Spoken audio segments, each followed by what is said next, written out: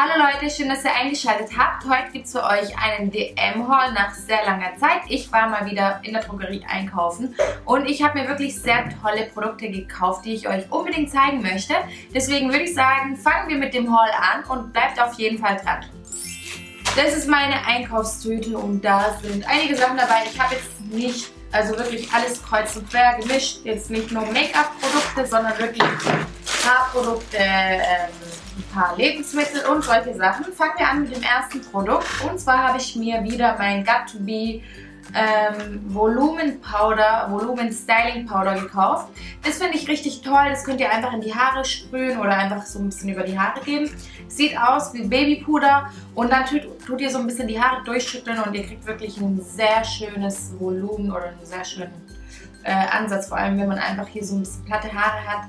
Ich tupiere die Haare gar nicht mehr, seitdem ich das habe. Ich tue es einfach, wie gesagt, in die Haare drauf, ähm, drauf pudern und dann so ein bisschen ähm, einfach so ein bisschen durchgehen, keine Ahnung. Und dann habt ihr wirklich super schönes Volumen.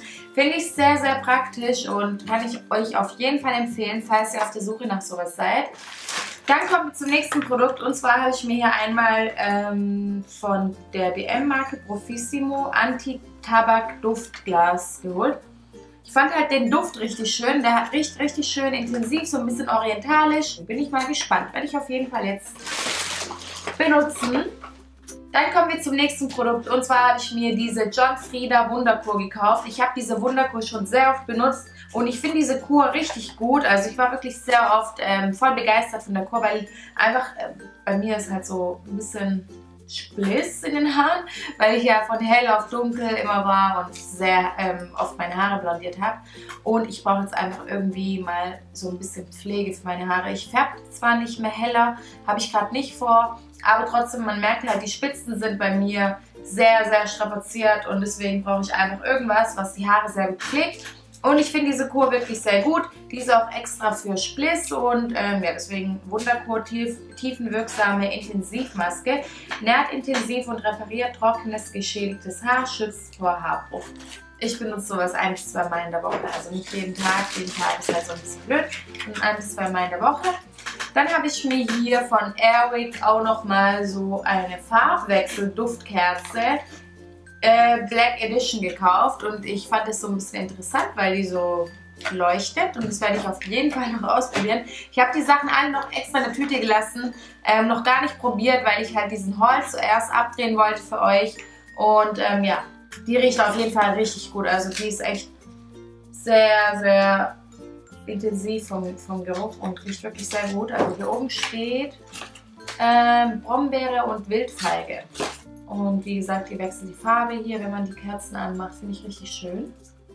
Dann habe ich mir hier ein äh, vom Balea ein Micellenreinigungswasser gekauft. Micellenwasser kennt ihr ja bestimmt, das reinigt auch wirklich Tiefen rein und entfernt die Haut sehr schön gründlich, ohne dass irgendwie die Haut geschädigt ist oder ähm, gerade wenn man empfindliche Haut hat. Äh, Micellenreinigungswasser, wirksame Reinigung für Gesicht, Augen und Lippen mit Hamameliswasser. Hamamelis ist ja entzündungshemmend und sehr beruhigend für die Haut. Mischhaut und sensible Haut. Ich habe zurzeit auch ähm, ja, sensible, äh, sensible Haut auf jeden Fall. Meine Haut ist sehr schnell gerötet, wenn ich irgendwie ähm, kratze oder keine Ahnung, wenn ich mein Gesicht wasche, habe ich extrem rote Haut was überhaupt nicht der Fall war früher. Ähm, ja, jetzt bin ich mal gespannt, ob das hier gut ist. Das finde ich richtig gut zum Abschminken.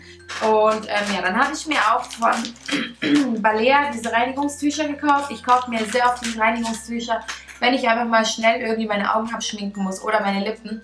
Ähm, benutze ich eigentlich die weiß-rosa, für empfindliche Haut. Aber die sind jetzt ähm, auch mit Zellenreinigungstücher, wirksame Reinigung für Gesicht und so weiter. Werde ich jetzt mal probieren. Ich denke aber, die sind ganz gut, weil ich finde diese Reinigungstücher vom Balea richtig gut. Zum Beispiel die von Balea mag ich, äh, von BB mag ich überhaupt nicht. Meine Haut ähm, reagiert voll empfindlich darauf. Deswegen benutze ich immer die von Balea. Dann habe ich mir hier Kokosmilch gekauft. Ihr fragt euch bestimmt, was ich das brauche. Aber keine Ahnung, ich habe schon einige Videos gesehen, in denen man einfach so zum Kochen Kokosmilch benutzen kann und ähm, zum Backen und so weiter. Und ich habe gedacht, ich hole es mir jetzt einfach mal und probiere mal so ein bisschen oder experimentiere mal so ein bisschen rum beim Kochen. Als nächstes zeige ich euch was richtig Tolles und zwar ein zauberhaftes Haarparfüm für einen besonderen ist, was lese ich denn? Für ein bezauberndes Dufterlebnis. Kennt ihr das, wenn ich mich einparfümiere, dann sprühe ich komplett überall Parfüm, sogar auf meine Haare, von oben bis unten. Oh, das riecht voll gut. Voll schön frisch, riechst du das? Dann habe ich hier noch als nächstes ein Perfect Face Prep and Fix Spray gekauft von P2. Ich glaube, das ist so ähnlich wie der Fix Plus von MAC. Ich wollte einfach mal das probieren. Die Farbe hat mich ehrlich gesagt so ein bisschen angefixt, weil es pink war. Und dann habe ich mir gedacht, muss ich mal ausprobieren. Vielleicht ist es ja auch gut. Und ich finde eigentlich solche Sprays immer ganz gut für Lidschatten. Ähm, ich trage die einfach so ein bisschen auf den Pinsel, also ein bisschen auf den Pinsel auf. Und dann ähm, tue ich damit sozusagen den Lidschatten auftragen. Dann ist er viel intensiver und hält auch sehr lange. Als nächstes habe ich hier eine Heilerde von Lobos. Habe ich mir schon ein paar Mal gekauft. Ich habe das jetzt einfach gekauft, weil meine Haut, wie gesagt, gerade so ein bisschen rumspinnt und ähm, ja, ein paar Un Unreinheiten auftreten. Und ähm, das benutze ich so ein bis zweimal in der Woche. Mache es einfach auf die Haut drauf. Lass es äh, 10 Minuten einwirken. Ihr könnt es auch aufs Dekolleté drauf schmieren. Und danach wieder abwaschen. Dann habe ich hier von P2, ich finde es ist so ein Dupe zu den äh, von Benefit gibt es so einen Highlighter. Äh, Perfect Face Glow Up Highlighter in der Farbe Pearl Rose. Und ich finde, der kann sich wirklich sehr gut verblenden lassen in der Haut. Ich finde, das ist wirklich ein sehr schöner Highlighter. Was man auch machen kann oder was ich auch sehr oft mache, ich trage erst so einen cremigen Highlighter auf und anschließend gehe ich mit einem Puder-Highlighter drauf und dann hat man, hat man wirklich einen sehr schönen Highlight und sehr schön intensiv. Dann habe ich mir hier die Blush Artist Shading Palette gekauft von Catrice. Ich fand die Farbtöne richtig schön. Ich habe hier die Nummer 020 Core All I Need. Also es soll irgendwie heißen Coral I Need, wie auch immer. Ähm, auf jeden Fall sind es sehr schöne Farben. So, ich habe jetzt die mittlere, mittlere Farbe ein bisschen drauf gemacht. Die ist wirklich sehr intensiv. So, dann habe ich mir hier noch diesen süßen kleinen Hundi gekauft ähm, beim DM. Der war im Angebot. für, ähm, Cookie, für wie viel warst du denn im Angebot? Für 3 Euro, gell? Da habe ich dich ganz schnell gekauft. Der ist so süß. Ja, ja, ja, du Baby. Baby, Baby. Gib mir einen Kuss.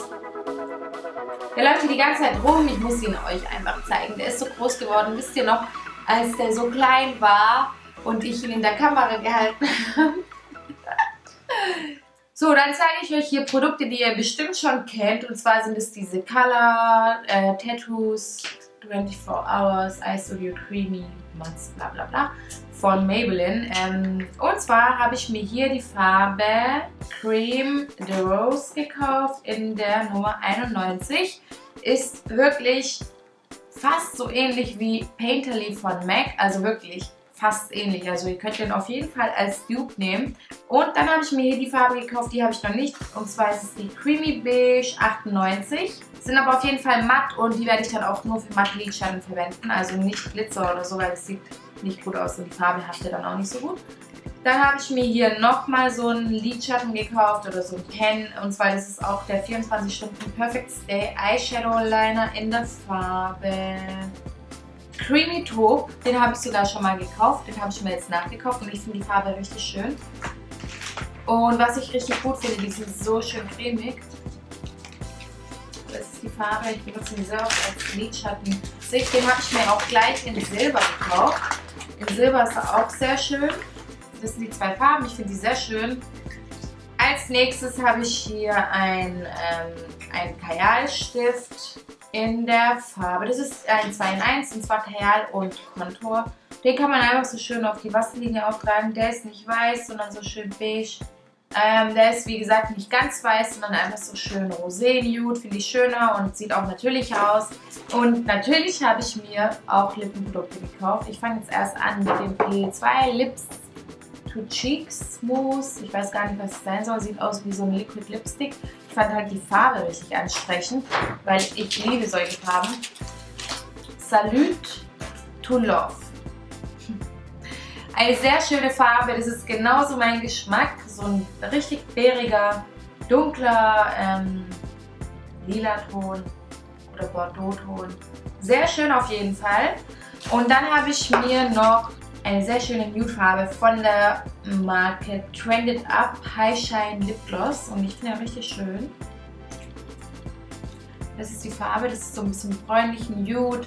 Ähm, ich habe die Farbe, Moment, ich glaube 65 geholt. Boah, der riecht richtig gut, oh Gott.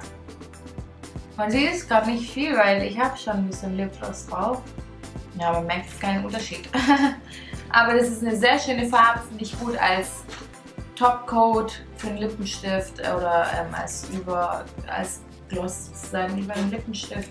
Ich benutze sowieso Lipgloss nie alleine. Also wenn, dann tue ich immer einen Lippenstift und dann tue ich halt einen Lipgloss noch drüber.